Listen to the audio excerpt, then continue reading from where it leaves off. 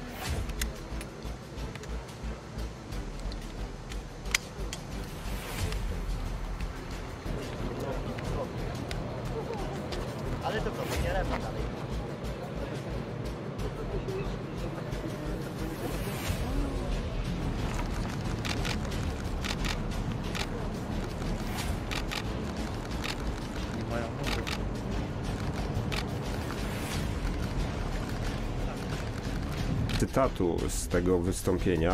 Jak pan to odbiera? Czy to pachnie jakąś prowokacją niebezpieczną? Oczywiście y, musimy być gotowi na różne scenariusze, nie wykluczamy żadnego, dlatego y, zdecydowaliśmy o tym, żeby y, przerzucić wojsko y, bliżej granicy białoruskiej, żeby wzmocnić granicę, żeby w ten sposób odstraszyć agresora. Przecież o to nam chodzi, żeby odstraszyć agresora, żeby agresor nie poważył się na zaatakowanie Polski. Nowe Zapory tymczasowej.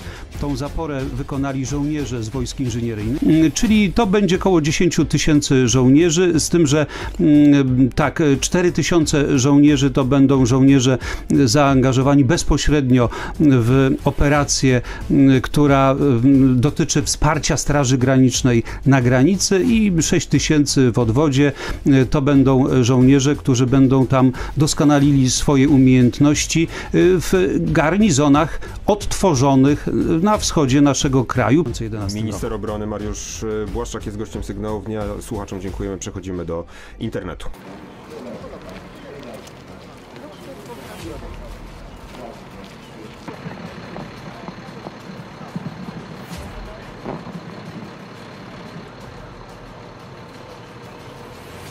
Raz, dwa, trzy.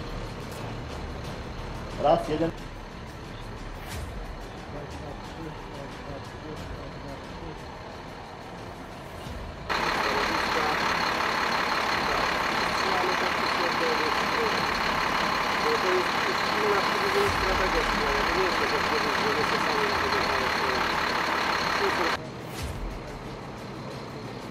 Dobra, dzięki.